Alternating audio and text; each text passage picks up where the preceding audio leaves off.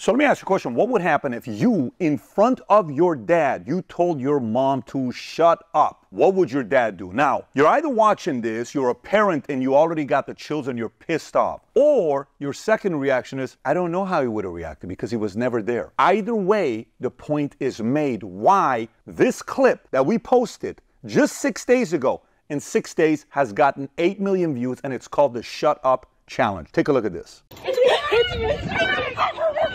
All these videos that go viral on TikTok, I don't know if you've seen it. It's a prank. The mother, the mother and the daughter, or the mother and the son play a prank on their dad. The daughter tells the mom, "Shut up, mom," and it, you just see the dad all of a sudden. Wait, what did you say? It's a prank. It's a prank. It's a prank. See, that's a that's the fear. You don't talk to your mom like that. Pretty wild, right? You see how the dad immediately reacts and it's a prank. By the way, here's what I want you to think about. What challenges are we facing in America today? Economy, gas prices, inflation, you know, Ukraine, Russia, taxes. Add whatever you want to it. I'm willing to tell you maybe the number one biggest problem we have in America today is fatherlessness because our boys are being raised without order, without responsibility, without challenge, and moms can do to their best of abilities. But there's nothing like a father to be there to say you cannot cross the line. That fear needed in a young boy's life is super necessary, as well as a girl. The other day, my wife is reading a book called Raising Up Girls, and she keeps sending screenshots. Babe, look at the role a father plays in a girl. It's not just for, but look at the role you play, babe. Look at the role you play. I said, babe, I know that's why I recommended the book to you. What's the point here? I'm going to share you some stats about fatherlessness and five things fathers can do when raising future leaders of America.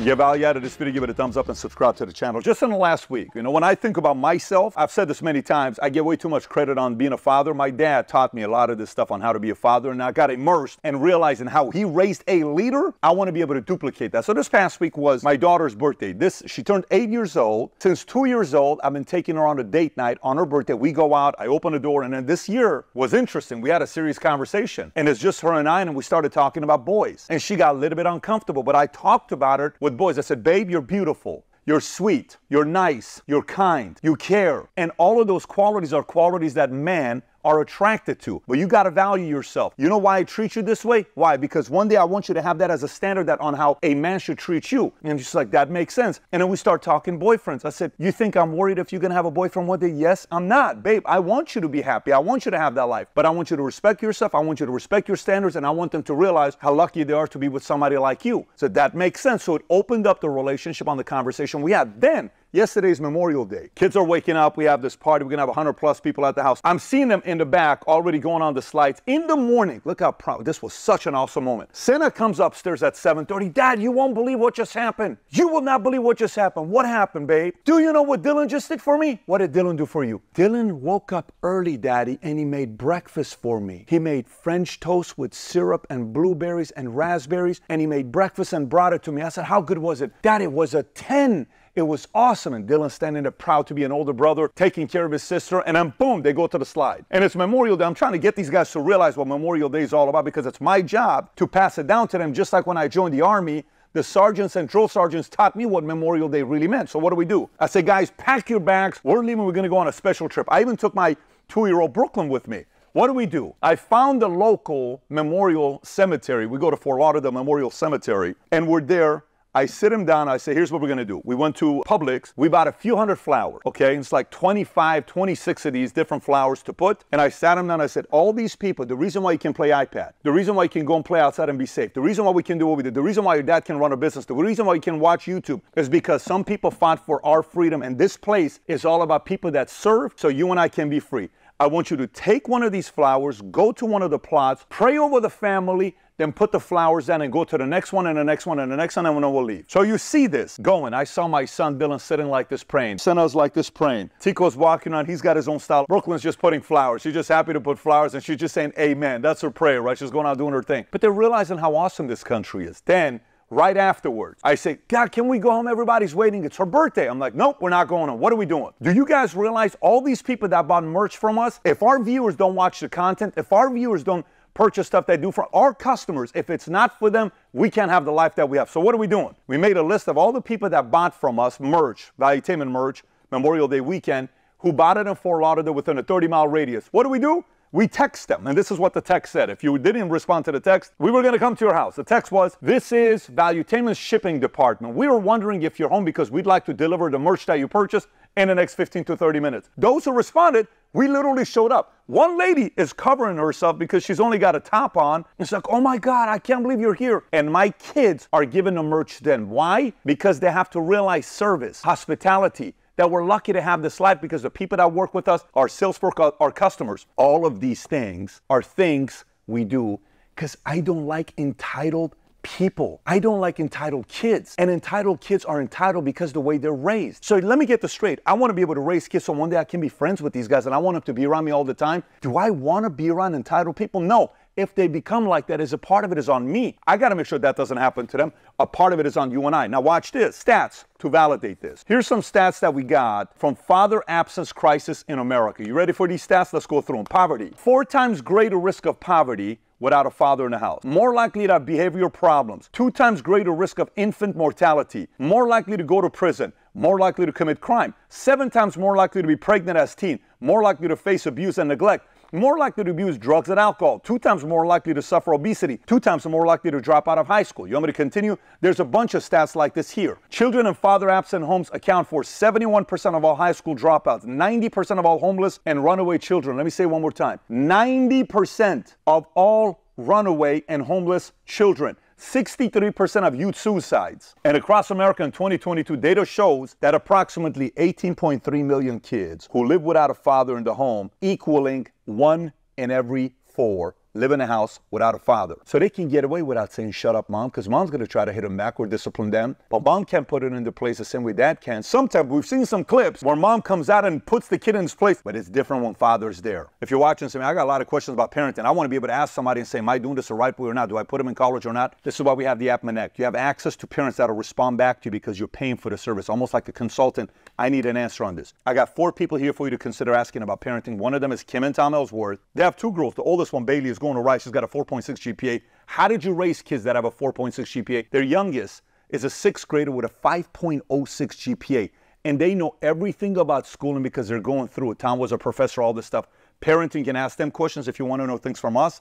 Jen, we have four kids. We have a lot of challenges we go through with our kids. If you want to know what we do with our kids, you can also connect us as well. And there's plenty of other people in the category of parenting and education. They can ask them on homeschooling, raising kids, boys, girls, all of that. Download the app Minnect, start connecting today. Now watch this. I can give you more stats. I got plenty of it. Watch this one here right now. It says the large share of dads, moms say being a parent is an important aspect of who they are. I'm sitting with Bill Maher. He asked me a question. He says, Why do you want so many kids? What's the purpose of living if you don't have kids? Like, I'm not that in love with the human race where I think, like, whoa, what we need is more of them. I said to him, What else is the point of life? What else am I living for? To be rich for what? To have the cars for what? To be famous for what? What is the point? There's a proverb that says there's three things every man should do have a son, plant a tree, write a book. Every single one of it is what? It outlives you. The whole purpose of life to outlive you. That's a part of the legacy, but watch the percentage wise here. Percent of parents who say being a parent is uh, aspects of who they are as a person. Fathers, 24% the most important thing. 61% one of the most important things, which is 85% of review. Mothers, 35% is the most important thing they've done in life being a mother, and it's 53% one of the most important. That's 88%. This is the beautiful part about having kids. I got four of them. I'd have 20 more. I absolutely love having kids. It's not easy, but it's one of the most rewarding things you'll ever do in your life. Let me continue. If you think about father son or father daughter relationship, again, I started it off asking you a question saying, what would have happened if in front of your father you told your mother to shut up? What would happen? You either said, Oh, my dad would whoop me. He would put me in my place. And you said, I don't know, my father wasn't around. Both of them are validated by this point here. But now, if you had a father and was somebody that lived with you and you had a lot of experience with them, think about the moments when you're learning how to ride a bike. That moment. I can tell you where we were when Dylan and Tico learned how to ride a bike. We were at our Addison office, the insurance. This is COVID, and they're in the backyard, and I'm holding the bike. Tico goes, my oldest goes. 10 minutes later, Dylan goes, and he's biking and screaming, ah! And then he's like, oh, I got this. I got a bone for one hour and a half in a parking lot. They're just riding a bike. Or the moment when your kids are swimming. This weekend, my youngest daughter, Brooklyn, we can't get him out of the pool. She just keeps jumping in and jump in. The further I go, the more she wants to jump in, jump in, jump in. She's learning how to swim. What does it feel like when you're holding your kid when you swim? Or when you take your daughter on a date? Or when the father and son are fishing and you catch a fish for the first time? Oh, come on, boy! Or you, they asked the question, they said, What is your fondest memory of you and your father? They asked boys, said, Wrestling with my dad. Think about those memories with dad you're wrestling, trying to be, beat your old man. Put him in a chokehold.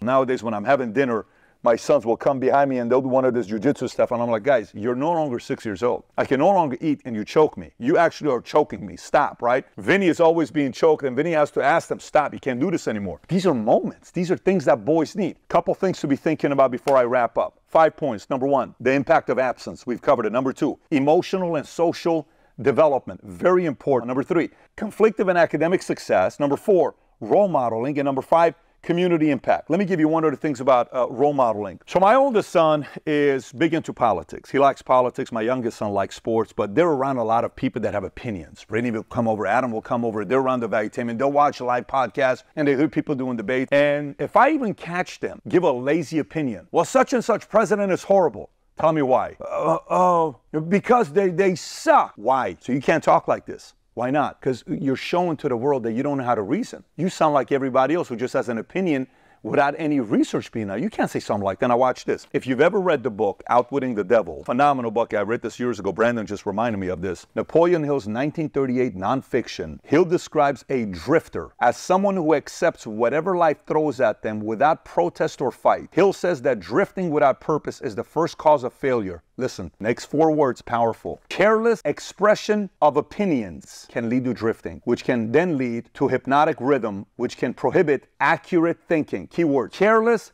expression of opinion. They give an opinion. Why'd you say that? Oh, because I said that. No, you can't say that as a Bet-David. You have to give me the reasons. Uh, uh, uh, uh. Give me your reasons. Well, because of this. No, how about this? Uh, then go research and come back and give me some real reasons why you believe what you do. Okay, I will. Okay, so boom, back. So that debate part, where you're not letting them be lazy with their opinions, most of America's lazy. I was lazy with opinions at the beginning until I'm like, I got to put some time into this, right? These are small little things that develops better leaders in the future because we're challenging them to be tougher. Or else, kid goes to school, gives an opinion, I was like, well, that person believes in this. Based on what? No, that's not how life works. So, anyways, if you right now grew up with a father, and if I was to ask you, who's the one person in your life that set a high level of standard, expectation, toughness, where you feared a little bit, that helped you become tougher in life and never let you give up or any of that stuff, you may say your mom, but a part of it of somebody you feared that kicked your ass, it's generally a father. Unfortunately, America, society led by America, we're trying to make men be more like women, and we're trying to make women be more like men. Why don't we just have men become men and women become women and realize we need each other? But in this context, if you're a leader doing something big in your life and you're tough, odds are a very strong role model, a father had a big role in you becoming a leader. If you got value out of this video, give it a thumbs up, subscribe to the channel. And by the way, if you want to know which immigrant community that comes to America makes the most money, you know who it is? It's Indian families. Why is that? I did a video on it. Fascinating on how they raise their kids. If you've never seen it, click here to watch it. Take care, everybody. Bye bye, bye bye.